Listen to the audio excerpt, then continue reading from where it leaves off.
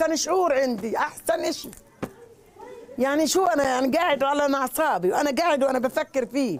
بقول يا أما أنا متباشر إني من يوم إنك قام قالوا طاح من ال...